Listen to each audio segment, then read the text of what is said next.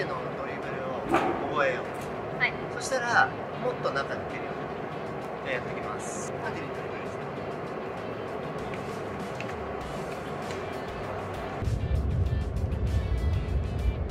て すでにできてました。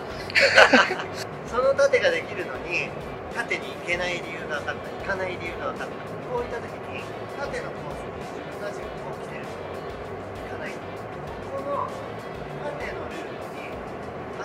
足が入った時にどうしたら縦の怖さ出せるああダブルタッチ。素晴らしい。一つそれもアイディア今日授けたいのは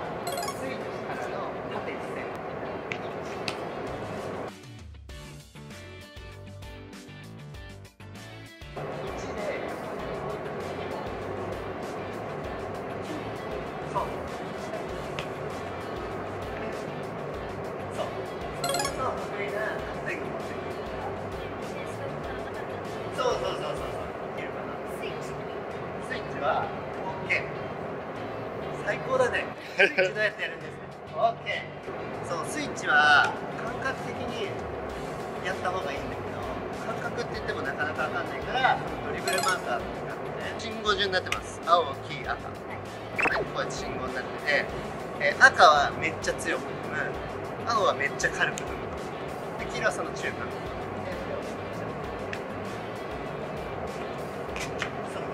試合中だったら止まった状態でこうやってやるのもあるんだけど一番有効なのはスピードに乗ってプレーしてますでここで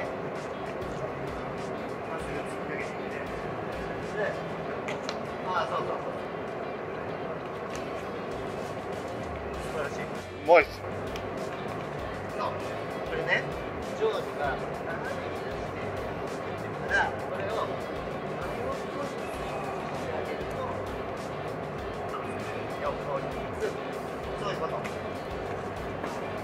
ボールの軌道斜めだからもう一個ここまで来ていいそういうこと突っかけてくるそういうこと素晴らしいじゃあ今ので相手がこっちを読んだ場合って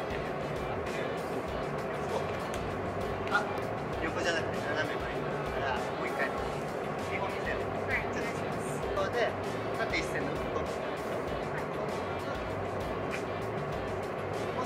しくは縦一線の動きになって経験して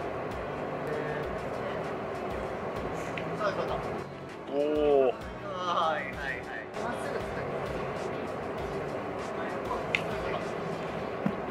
完璧。これで縦の圧力出たんで中もいけるから多分解決できたと思う。一日やってできるようになるものじゃないから10回に9回とか10回できるようにましたまた教えて。これで抜けるようになったら。はい。うん、考え方がね相手が強いからどうしようじゃなくて自分がうまければ抜ける。